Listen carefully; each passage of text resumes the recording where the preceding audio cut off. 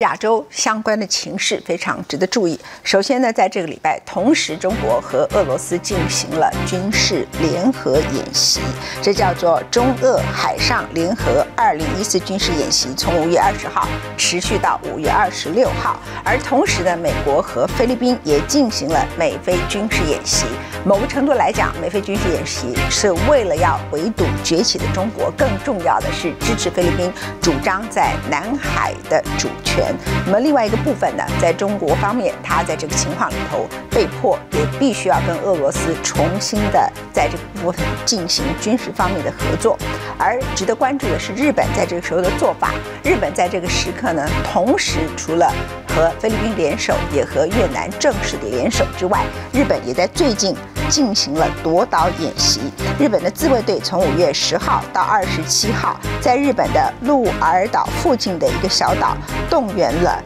海陆空部队，总共一千三百人展开一个夺岛演习。这是日本呢从钓鱼岛事件的争论以来，这一段时间以来首次的在自己本国的领土里头模拟钓鱼岛。如果被中国解放军占领之后，那么自卫队如何夺回这个岛屿？这是日本最近的做法。那么同时呢，日本首相安倍晋三十五号在首相官邸举行第七次会议，正式要求变更宪法的解释，允许日本很可能行使集体自卫权的报告书。换句话说，现在还没有正式向国会提出来，但是已经往所谓的和平宪法要废除，日本要拥有它的集体自卫权这个部分往先走了一步。那么另外一个角度呢，是印度，印度变天的情况里头，新上任的莫迪，他不只是不代表贵族，他同时代表一个贫穷阶级，一个重大的经济改革之外，他个人是一个很重要的印度教的一个民族主义者。那么会不会使得印度跟巴基斯坦边界的冲突再度的起来？那么在包括中印之间的冲突，所以我们回头来看整个亚洲的状况，从中俄军演、美菲军演，然后日本开始夺岛演习，以及日本呢思考要把集体自卫权呢重新的从宪法里头把它重新拿回来这个权利，然后印度新的统治者在上台，虽然他可能带来了对印度经济的改革，但同时亚洲也迎来了一位民族主义者。民族主义变成亚洲在整个经济大衰退之后，不管是什么样的原因，像日本很明显就是因为它停滞的经济，它必须用民族主义重新唤起日本人对这个国家的认同，所以这是经济大衰退带给日本的影响。所以钓鱼台的议题在时候这个时候被提出来，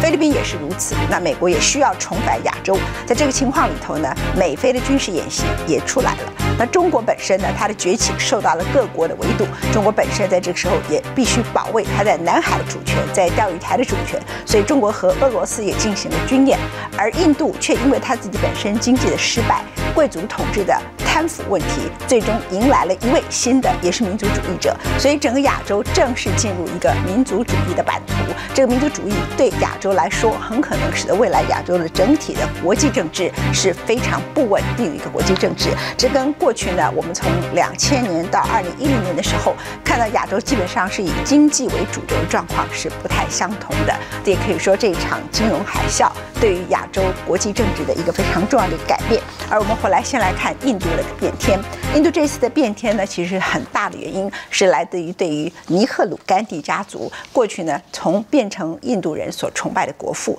甘地夫人，然后一直到后来对甘地家族整体的一个失望，也是对种姓制度投下了一个否决票。某一个程度来讲，他们希望印度伴随着民主。伴随着经济的崛起，伴随着中产阶级的出现，他们不希望再在种姓主义里头继续维持住整个印度所有相关过去的社会、政治跟经济秩序。另外呢，印度的经济也开始下滑，所以他们迎来了这位新的领导者。而我特别提到这位新的领导者呢，待会儿我为大家介绍这位啊莫迪的出身，以及呢他对整个亚洲所代表民族主义的议题。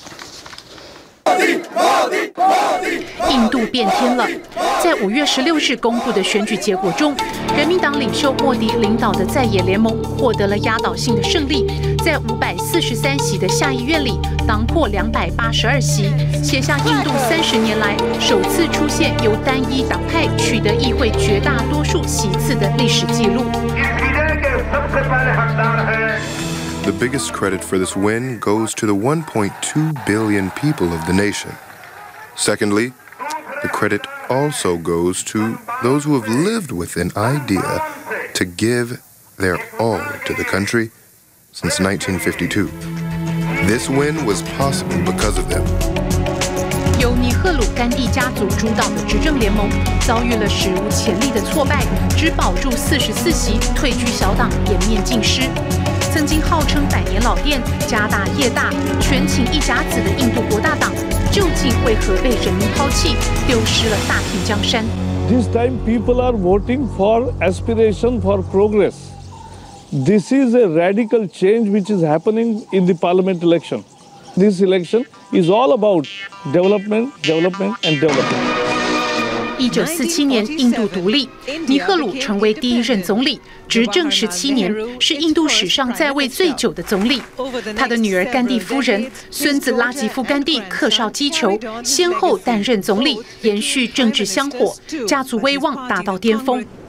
二零零四年，拉吉夫甘地的妻子桑尼亚甘地领导的国大党在选举中获胜。他因为出生在外国而被迫放弃总理职位，改为支持前财政部长辛格出掌大位，从此开启了印度经济的动荡十年。Inflation, unemployment, stagnation, all have caused great, great pains for common people, and corruption. There is a feeling in the people that they are looting left, right, and center. 二零零八年爆发了金融海啸，印度受创严重。过去十年，平均百分之九以上的经济成长率开始出现下滑。但当大部分新兴经济体逐渐站稳脚步，恢复元气之时，印度却还深陷泥淖，持续衰退。二零一零年，经济成长率腰斩，剩下百分之五，外资陆续撤离，卢比在巨幅贸易逆差的拖累下，犹如自由落体般贬值百分之二十五。政府补贴石油、食品和化肥的巨大开支，导致经常账赤字不断膨胀，进而推高物价，通膨逼近百分之九的大关，一度掀起民众前所未有的黄金抢购热潮。辛格在二零一三年八月延揽了全球备受推崇的经济学家拉詹，接下央行总裁的重担。股汇市虽然暂时回稳，但政府错误的经济政策行之多年，施政积弊已深。就算拉詹再能干，也无力回天。क्योंकि पहले तो बीस रुपए तीस रुपए मिल रही थी अब एकदम से सत्तर रुपए हो गई है तो इसलिए प्याज कम डाल रहे हैं रसोई बजट में हमारे फर्क पड़ रहा है इससे 二零一三年秋天，洋葱告急，在印度成了一件大事。众所周知，没有洋葱就不成印度菜。洋葱在印度甚至被称为政治蔬菜。人们经常戏称，倘若无法控制洋葱的价格，那么政党就该下台。政府无法有效改善经济，加上用人大搞裙带关系，官商勾结的贪腐丑闻不断，民众积怨日渐加深，政治风暴山雨欲来。而尼赫鲁甘地家族第四代接班人，四十四岁的拉胡尔甘地，因为缺乏群众魅力，也预告了国大党的去留。Because Rahul got stuck with the story of we are for the poor, we are you know out here to give you money, come and vote for us because we are taking care of you. I mean, the, the Congress Party's feudalism no longer appeals to young India. 选举结果不尽人意，桑尼亚甘地表示对败选负责。尼赫鲁甘地家族领导的国大党不思改革，对每年一千万年轻人面临毕业及失业的困境毫无对策，遭到年轻选民的抛弃，导致尼赫鲁甘地家族光环迅速陨落。这是人民用选票对国大党做出惩罚。People have punished Srimati Sonia Gandhi and Rahul Gandhi and the dynasty.